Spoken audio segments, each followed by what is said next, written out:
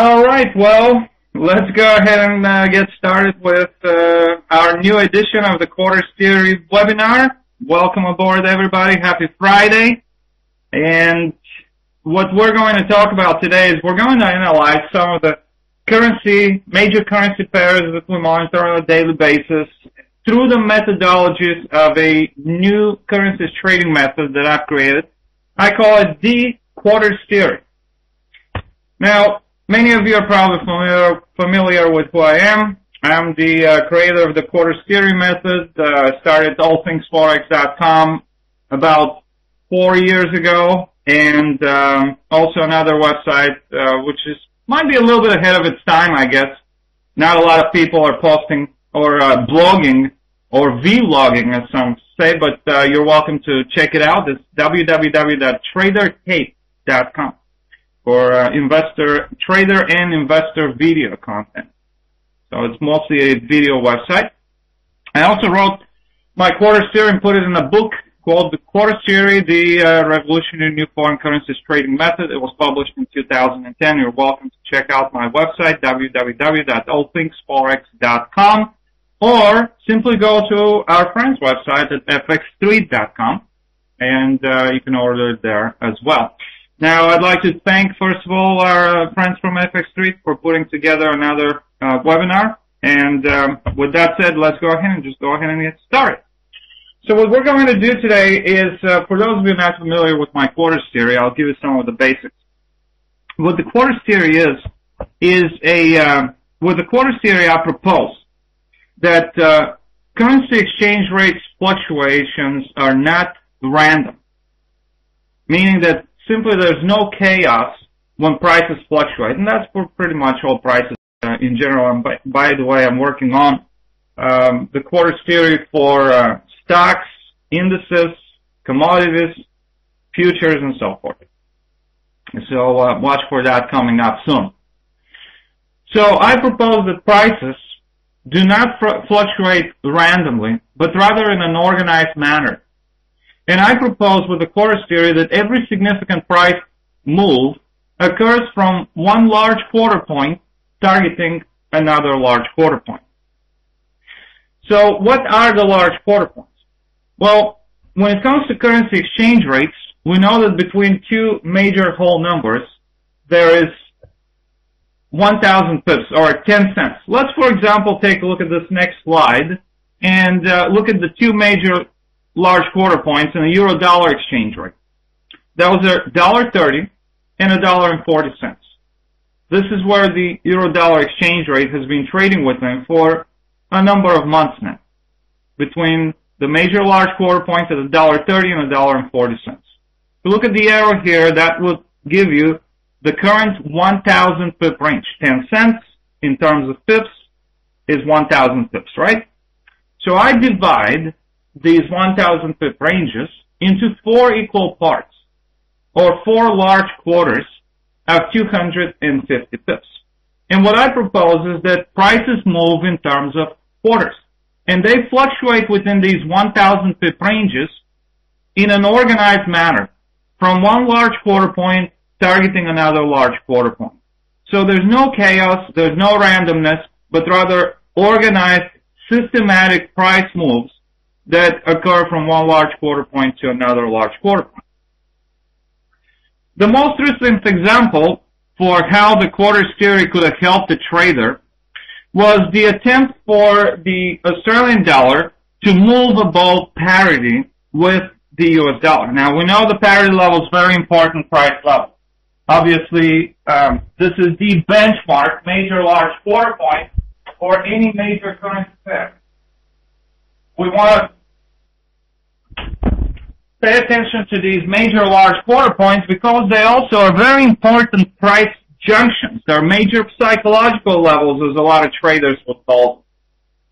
They're also what I call major whole numbers.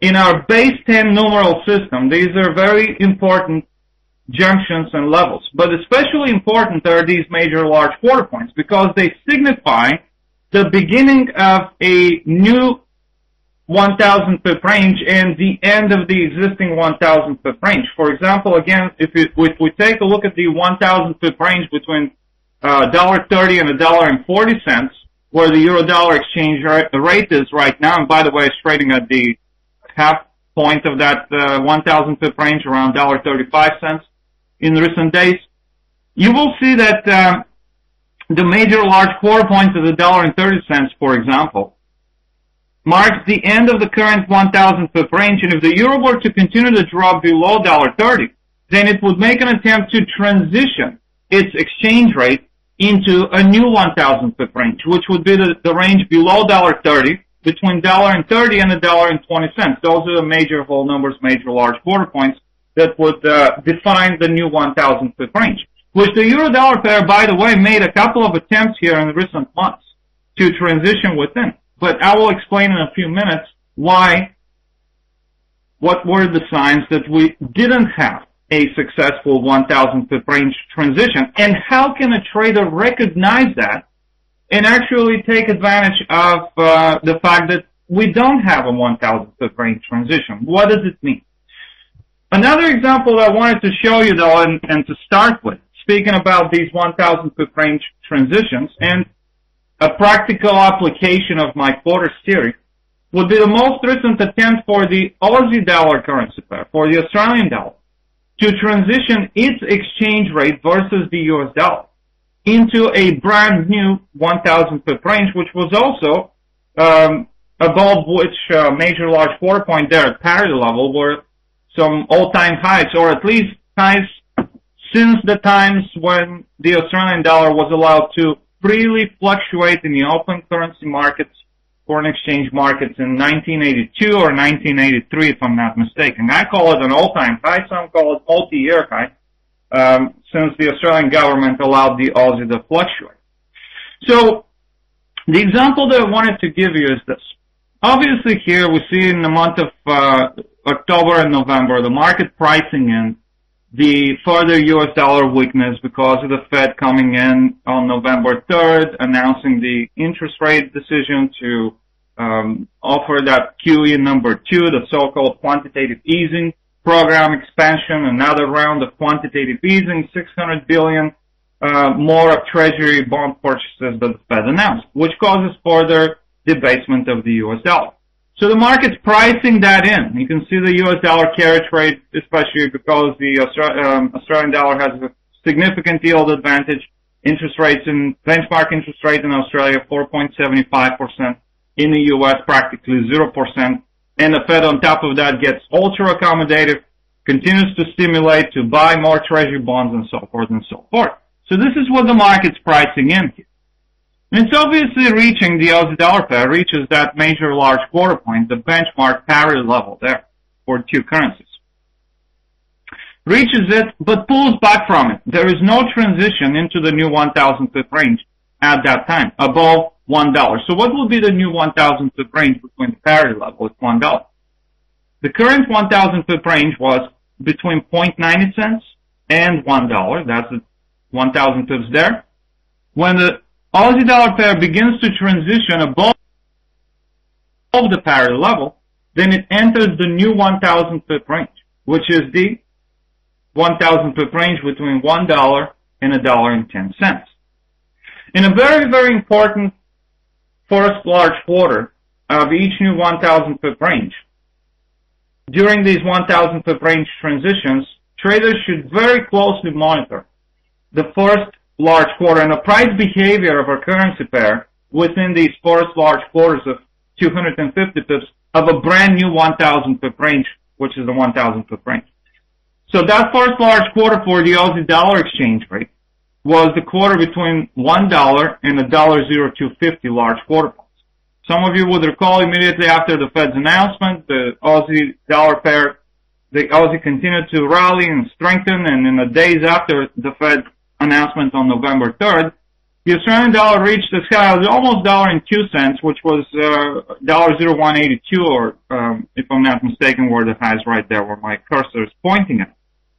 So at this point, there will be obviously an attempt from the Aussie dollar pair to transition its exchange rate into the new 1,000th range between $1 and $1.10. But what are the signs that I explain also in my book, The Quarters Theory, for a successful 1,000 pip range transition? The first thing that we require is to see whether or not the Australian dollar, for example, in this case, will complete the first large quarter of the new 1,000 pip range. Will it move from $1, the parity level, to complete the entire large quarter by approaching the large quarter point at the $0.0250? It's practically impossible, as you will note, for those of you who are not familiar with my quarters here, In the future, you will note, for the rest of your trading, trading careers, that in most instances, these large quarter points are actually disguised. They look like they're not being reached, overshot, they're disguised. Not a lot of traders can, uh, at first glance, recognize these large quarter points because there's always going to be a number that's either a little short of a large quarter point or a little bit above a large quarter point, or uh, which I call a shortcoming, uh, undershoot or overshoot of these important price levels in a quarter theory. And I'll give you an example in a few minutes, once again, how the large quarter point at the dollar zero two fifty was recently disguised by a little bit of an overshoot above it. It's practically impossible in uh, trillions of dollars of a market volume on a daily basis, such as the forex market, for prices to stop exactly at a large quarter point. They either can come short of it or it could they could surpass it by a few pips. But what the quarters theory recognizes and focuses on is what's the important part of these price moves, and that's whether a large quarter point has been or a large quarter has been successfully completed. And so I've designated, knowing that it's practically in most instances going to be impossible to for prices to stop exactly at the large quarter point and reach it exactly up to the pip. I've created a rule of the quarters theory which where I designate the area of one small quarter of 25 pips because just as you, in a base 10 numeral system, obviously, just as it, as one can divide everything in four equal parts, as I do, I divide the 1000 pip range into four equal parts or four large quarters of 250 pips. Um, so one can do with the 100 pip ranges between two whole numbers. For example, the range between one dollar and a dollar and one cent is a one cent range. But in terms of pips, that is 100 pips. With the base 10 numeral system, we can divide that 100 pip range into four equal parts. And that is how I derive the so-called small quarters of the quarters theory, which are the small quarters of 25 pips. So I designate the area within 25 pips from a targeted large quarter point. And as, as long as prices reach within 25 pips or one small quarter of 25 pips from a targeted large quarter point, then we consider the quarter as successfully completed. In a first attempt for the Aussie dollar pair to complete this quarter between $1 and a dollar and two cents, that attempt was not successful that quarter on a first attempt here in the month of November was not successfully completed. As many of you would recall, the Aussie dollar pair reached as high as $0.0182. It stayed about 70 pips away from the targeted large quarter point at the $0.0250. Now what happens as a result of an unsuccessful completion of a large quarter? I explained that in my book as well. See, because every significant price move begins and ends at a large quarter point, there's a trader utilizing my quarters theory always knows what the starting point of the next price move is and what could be the end point of that price move. When prices begin to work on a large a large quarter between one dollar and a zero two fifty, we keep an eye on that uh, quarter whether it will be successfully completed. Just because prices begin to work on a large quarter, however, that doesn't mean that the large quarter will be successfully completed. So as a result of a unsuccessful completion of, a quarter, a, quarters theory trader who is familiar with the quarters theory methodologies knows what the outcome of unsuccessful completion of a quarter will be.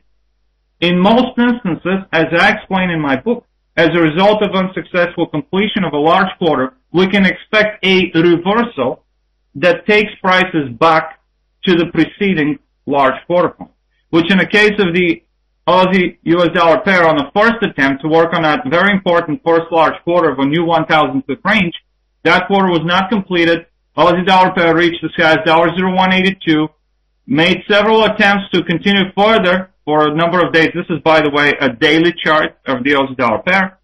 And then we can see that reversal that took prices back to the preceding large quarter point. But this was not only a reversal back to the preceding large quarter point. In terms of those 1,000 pip range transitions,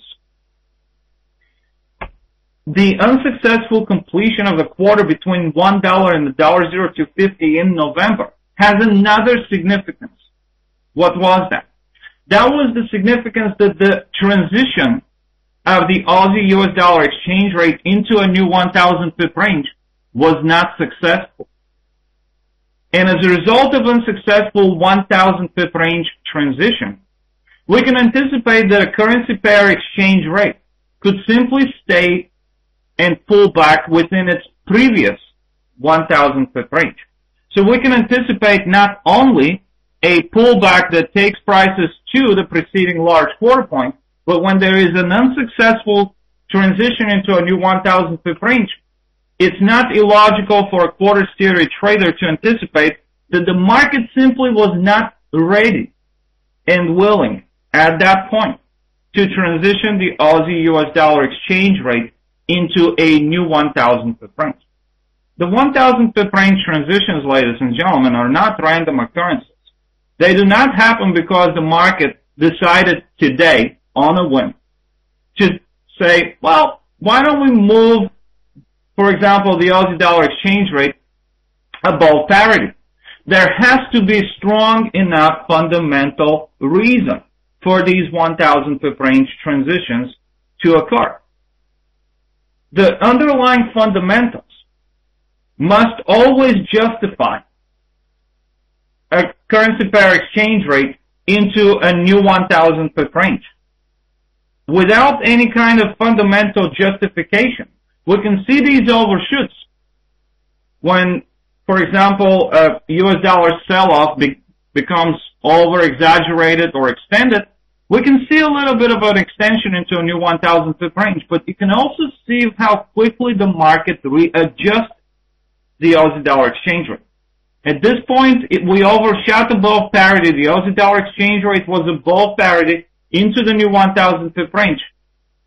But how quickly the market readjusted it, and we saw the Australian dollar, US dollar exchange rate quickly falling back into its previous 1,000 pip range. With the recent strengthening of the Australian dollar here in the recent month or so, we saw another attempt for the market to push the Aussie above parity with the US dollar.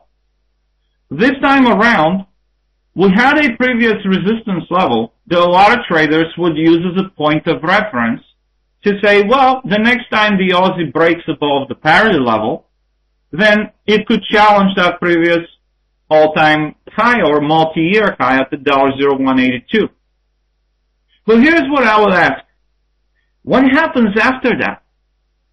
What's above the $1.0182? Well, for a trader who's not familiar with the quarters theory, it's an open game. Right above 1.0182 multi-year resistance, there's simply no other historical point of reference all the way down to 1982 or 1983 that a support resistance trader can utilize. Previous resistance level established, even if one has to go back 30, 40 years to say, well, if the Aussie dollar pair breaks above 1.0182, if there's another resistance level there, maybe the market would target that level. If there were, a previous resistance level there, historically, that could be the case. But what if it isn't? what if there isn't any previous historic support or resistance level? What can the market challenge next? And, and what is a trader to do? Excuse me, as far as trying to figure out what could be the next price level that the market could target, which could be extremely helpful, as many of you know, as far as setting up realistic expectations, goals, price targets, and so forth, considering a trading opportunity. If a trader was not aware of my, excuse me, of my quarter theory, then they would not anticipate that the next logical price point that the market could challenge if there was a decisive breakout above the previous multi-year high at 1.0182, this area here, could be the large quarter point at the $0.0250. So was it a coincidence that on the next attempt the Australian dollar transitioned above parity level and broke above 1.0182 multi-year resistance the Australian dollar against the US dollar reached the high as $0.0255. Was that a coincidence? Well, to traders who are not familiar with the quarters theory, obviously that's a completely random number. Well, market moved up to 1.0255 and, uh, alright. To a quarters theory trader, that was not something that was a coincidental occurrence but rather an organized price move where a quarter theory trader was anticipating that a break above $1.0182 could easily challenge the large quarter point at the $0.0250. But also on the other hand, a trader who is familiar with the quarter theory in this example would also be aware that there may be some resistance that the market could encounter in the vicinity of that large quarter point at the $0.0250 which was the case with the Aussie dollar currency pair. And although the Aussie dollar pair completed that first large quarter of the new 1000 pip range, which was our first requirement to recognize a successful 1000 pip range transition, on a retracement because in most instances it's not unusual for us to also see a retracement after prices enter a new 1000 pip range. They can easily retrace or, or pull back to these magnetic major large quarter points, which in the case of the Aussie dollar pair is an even more magnetic level because it is the parity level. Tracks a lot of traders. So on a pullback, obviously the Aussie dollar pair pulls back to the major large quarter point at one dollar. It's not unusual, but that is where the second requirement that I've created comes. In order for us to recognize a successful 1000 pip range transition, we have to not only see the completion of the first large quarter of 250 pips of each new 1,000 foot range. But on any pullbacks or retracements, prices must stay above the major large quarter point, which marks the beginning of the new 1,000 pip range. In the case of the Aussie dollar pair, that did not happen. And so there were a couple of attempts in November and most recently in the last couple of weeks here where the Aussie dollar pair at least advanced a bit further. It completed the large quarter to $1.0250, reached the new all-time high at $1.0255. But on the pullback, you can see here in the days after that prices once again did not sustain above that parity level. So in the future, that is a very important occurrence and development that traders should pay attention to when it comes to the Aussie dollar developments.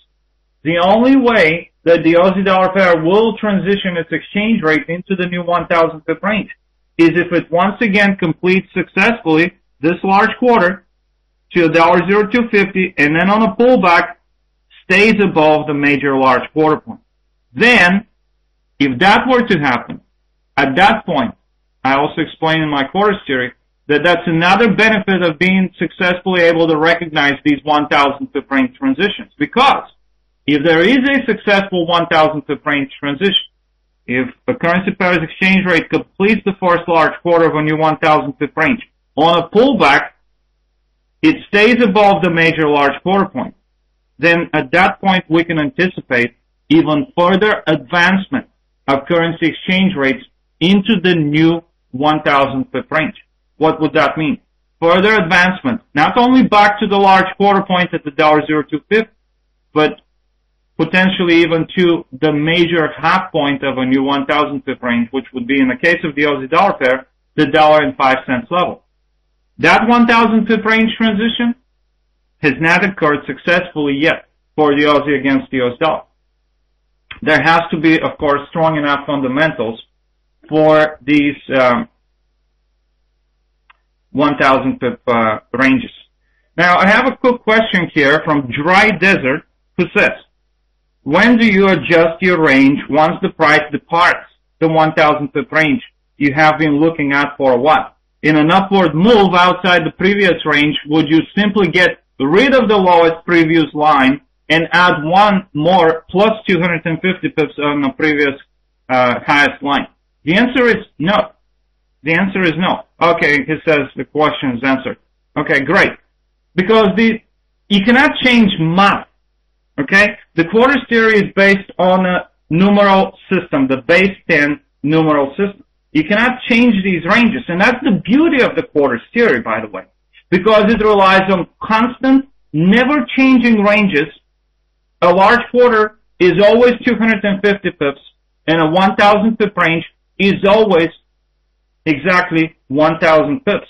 And uh, it is always between two major whole numbers major large quarter points uh, that define these 1,000 pip ranges. Now, let's go ahead and take a look at the euro-dollar currency pair's attempt to transition recently its exchange rate into a new 1,000 pip range. And that was the new 1,000 pip range below a dollar and 30 cents. Euro dollar pair here was trading into the 1,000 pip range between $1.40 and $1.30. It made an attempt to transition its exchange rate in uh, early December, if you recall, end of November, with an overshoot below $1.30, with the, but, it, but it found a double bottom support at the $1.2967 or $1.2969. As a result of that, of course, the first large quarter of the new 1,000 pip range below $1.30, which was the quarter between $1.30 and $1.2750, was not successfully completed. We only moved about 30 pips below the dollar and 30 cents level. By no means that is a decisive entrance into the new large quarter, and by no means that is a decisive entrance into the new 1,000 pip range. We said that in order for us to see the first sign of a, the early warning sign of a successful 1,000 pip range transition, we have to see what? A completion of the very first large quarter of 250 pips of a new 1,000 pip range. That did not happen for the euro dollar pair on this attempt at the end of November, early December.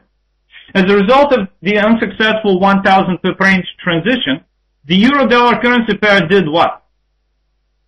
Stayed within its existing previous 1,000 pip range. It stayed above a dollar and 30 cents. And it began to trade in a range within between dollar and 30 cents roughly and uh, dollar and 35 cents, which is the large quarter point there at the dollar thirty-five cents, which I also call the exact half point, so-called major half point of the 1,000 pip range between $1.30 and $1.40 cents. $1.35 cents established itself as the top of the range major resistance for the euro dollar pair. As a result of that, we saw some fluctuations here from bottom of the range to the top of the range, top of the range toward the bottom of the range, back to the top of the range, back to the bottom of the range, and on a move recently, a couple of weeks ago, to $1.30 area, with the bottom of the range being $1.2969 as an exact price point, we even saw that uh, level being broken below. Well, it looked a couple of weeks ago that the euro dollar pair is going to make an attempt to transition once again its exchange rate below $1.30 into the new 1,000 pip range between $1.30 and $1.20. But let's take a closer look what happened once again.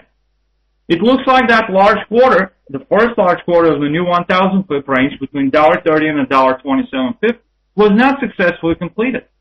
The euro dollar pair, if you recall, reached as low as, uh, what was it, $1.28, uh, something. Never completed the large quarter to $1.27.50. And as a result of that, we saw what? Prices retracing, reversing back to the previous major large quarter point at $1.30.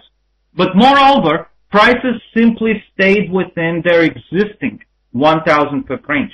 They stayed within the previous 1,000 pip range as a result of the unsuccessful completion of the first large quarter and an unsuccessful transition into the new 1,000 pip range.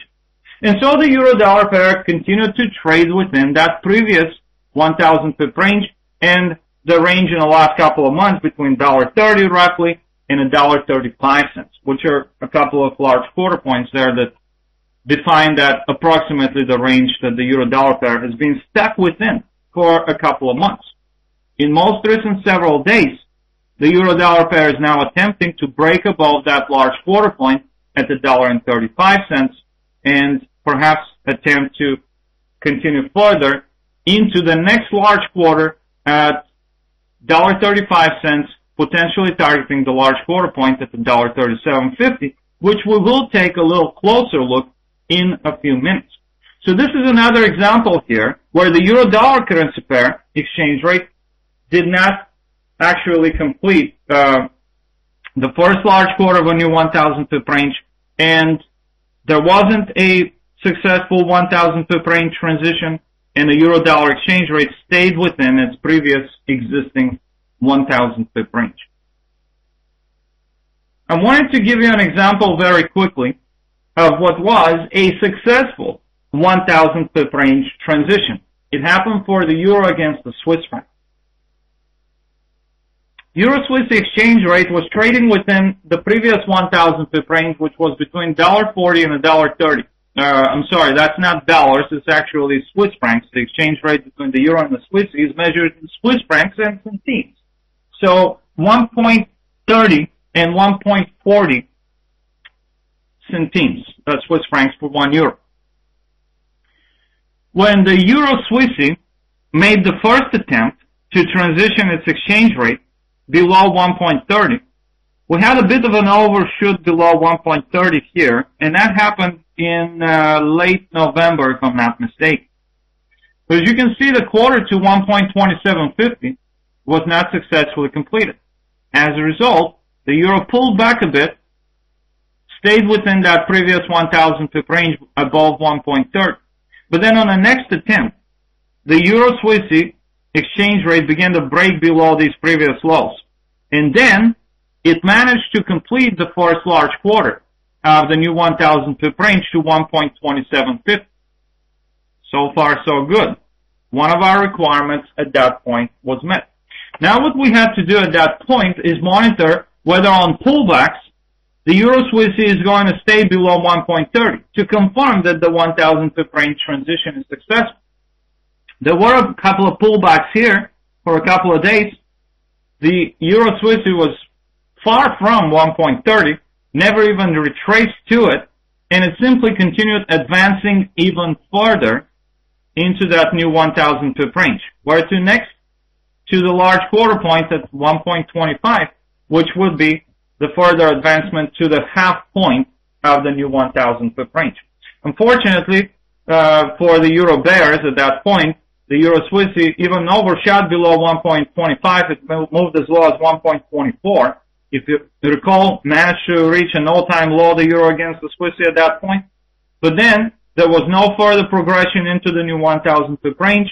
Euro Swiss on a price correction here it's nothing but a price correction, as you can see. The euro's been dropping from about above 1.38 to about 1.34. That's about 1,400 pips of a decline.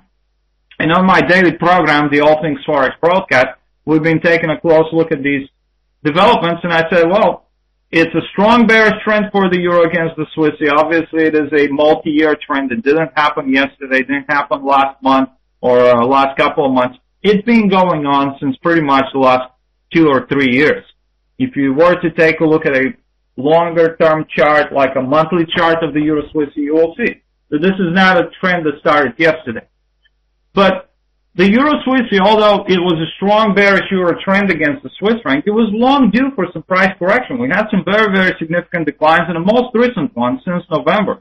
I said the Euro has been dropping since above 1.38 to about 1.24. So up to 50% correction here. I said a few weeks back. I said up to 50% correction could bring the euro Swiss exchange rate up by about 700 pips. That's very easy to calculate. Previous decline was about 1400 pips. 50% of that is 700 pips. So it wouldn't be surprising to see the market, if the market decides to go with such 50% retracement, for the euro Swiss exchange rate not only to retrace to that major large quarter point at 1.30, but also perhaps to 1.31, which would be the exact, approximately exact, uh, 1.31 would be the approximate exact, approximate exact. That's a good combination, right? Uh, 50% uh, retracement level for the euro against the Swiss. But that was an example I wanted to give you of a successful 1,000 pip range transition, as a result of which a couple of at least two large quarters of a new 1,000 pip range were successfully completed. That was the quarter be- below 1.30 to 1.2750 and then 1.2750 to 1.25. Now, the euro dollar pair is recently attempting to work on a new large quarter. And the new large quarter for the euro against the US dollar would be the quarter above the large quarter point at the dollar and 35 cents, potentially targeting the large quarter point at the dollar 37.50. Here's what your existing 1,000 pip range for the euro dollar pair looks like. Here's your major large quarter point at the dollar 30 cents. Not a successful entrance and uh, transition into the new 1,000 pip range below dollar 30 between dollar 30 and the dollar and uh, 20 cents. Euro dollar pair exchange rate stays within its uh, existing range, above $1.30, moves to a large quarter point at $1.35 cents. On the move above $1.30, by the way, we'll see a couple of large quarters completed successfully between $1.30 and $1.32.50 and then $1.32.50 to $1.35 cents. Resistance at the $1.34.98 right here, which was also the top of the range. Ladies and gentlemen, take a close look again how this guy's the large quarter point is at the $1.35 cents. The move up here for the euro against the US dollar in early December is a move to $1.3498. To a lot of traders not familiar with my quarters theory, that's a completely random number, right? $1.3498. Completely random number to those traders. Not to us. We now know that the important price level to pay attention to in this case was $1.35, which is the large quarter point. It's also the major half point, by the way, of the existing 1,000 pip range between $1.30 and $1.40. So, I guess a lot of traders could say, well, $1.3498 was a random number, not to us. Obviously, that dollar uh, $1.35 cents large quarter point played a role of resistance at that point. As you can see in the last three days, it has been playing, again, a role as a resistance level which the euro dollar pair is still attempting to overcome. And most successfully, by the way, that is happening in a trading session today, with the euro dollar pair finally making a further advancement further above the dollar and 35 cents level. So what's a trader, quarter theory trader to do when a currency pair is making an attempt to transition into a new large quarter? just as we have these 1,000 pip range transitions, which happen on a larger scale within these large 1,000 pip ranges, so do we have the one, the uh, transitions that happen into a new large quarter of 250 pips. There are very important factors in a price behavior of these currency exchange rates that we need to monitor and pay attention to as they attempt these uh, major currency pairs to transition their exchange rates into new large quarters. What are thoughts? That's what we're going to talk about in the next couple of minutes. Here's the 60 minute or one hour chart of the euro against the US dollar, which gives us a little, uh, an opportunity to take a closer look and zoom in to what was happening there with the daily developments of this. This is the daily chart of the euro dollar pair. We can see that for the last three days, prices are moving above the, at least the highs of the days are above $1.35. It's more than obvious the euro dollar exchange rate is making an attempt to transition its exchange rate into a new large quarter above $1.30. cents, potentially working on a large quarter between $1.35 and potentially targeting the next large quarter point at the $1.3750. So here's what your existing large quarter for the euro dollar exchange rate looks like. Here's the large quarter point at the $1.35. Here's your large quarter point at the $1.3750. Within each large quarter, I've designated some important price levels so that we can monitor the price behavior of a currency exchange rate when they move into these large quarters. In the first very important area of a new large quarter of 250 pips is what I call the hesitation zone. The name says it all. If prices enter a hesitation zone, but never exit outside of it, then that could be a warning sign that there may not be any further progression of prices into the new large quarter. What is the hesitation zone? The hesitation zone is the first three small quarters of a large quarter of 250 pips. That is three small quarters of 25 pips each. In the case of the euro dollar pair, in the current existing large quarter, we have the large quarter point at $1.35, and the end of the hesitation zone in this case would be $1.3575. 75 pips above the large quarter point at $1.35. Now, depending on the direction of the price move, the hesitation zone, if the euro dollar pair were to be moving above $1.35, above a large quarter point, we'll watch the hesitation zone above that large quarter. But if the euro dollar pair breaks below $1.35, then it would enter a new large quarter below $1.35, and a large, and the uh, first area that it would enter would be another hesitation zone at the $1.35.75. And in a lot of instances, you're going to see what I call the dual hesitation zone play of prices, which tells us that the market is not very strong as uh, strongly decided, if you will, in which particular large quarter, uh, the, which particular large quarter will be worked on. There's a lot of hesitation, if you will, that occurs in these instances. For example, let's take a look in the last couple of days what the euro dollar pair has been doing with the dollar and 35 cents level being the large quarter point there. It moves above dollar 35 cents, enters the hesitation zone, but never breaks outside of it. Prices pull back to the large quarter point, do not stay above it. They break below it and they enter the hesitation zone below $1.35. They move to almost $1.34 cents level, well actually even overshot um, yesterday if I'm not mistaken below $1.34 cents. Then they move back to $1.35 cents, the large quarter point, move above $1.35, pull back. What's going to be important from now on, if a trader is trying to gauge and recognize some signs of strength or weakness, if the euro should continue to strengthen versus the US dollar. We would not want to see what the euro has done in recent several days. We would not want to see the euro dollar pair breaking once again below the large quarter point at the dollar 35. So a very telling sign going forward will be if the euro dollar pair this time around manages to stay above $1.35 on these pullbacks. On top of that, we're seeing further advancement into that hesitation zone. A more decisive move, as I explained in my book, The Quarters Theory, into a new large quarter, is not a move that overshoots a large quarter point by up to 25 pips, but rather a move that takes prices at least close to the end of the hesitation zone. That's the very first early telling sign of what could look like a successful 1,000, uh, not 1,000, but a successful large quarter transition.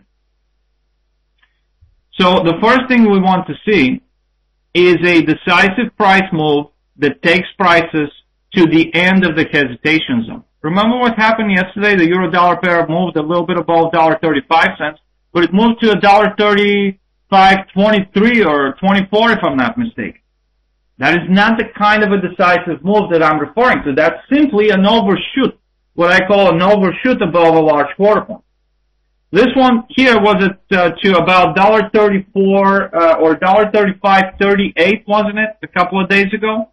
It's a little more decisive, but still not a move to the end of the hesitations. And then on top of that, we saw on pullbacks the euro dollar pair breaking below $1.35 in the last couple of days. So it's going to be very important now that we've seen today the euro dollar pair reaching as high as $1.3667 or $1.3567 rather or 66, which is not very far from $1.3575, the end of the hesitation zone. On pullbacks, if the euro dollar pair stays above dollar thirty five cents, at that point we can begin to anticipate further advancement into the new large quarter possibly back to the end of the hesitation zone, then to the half point of the quarter, which would be $1.3625, then to the whole number at the dollar and 37 cents, preceding the large quarter point at the dollar 37.50, and then ultimately to a potential completion of the current large quarter to dollar 37.50.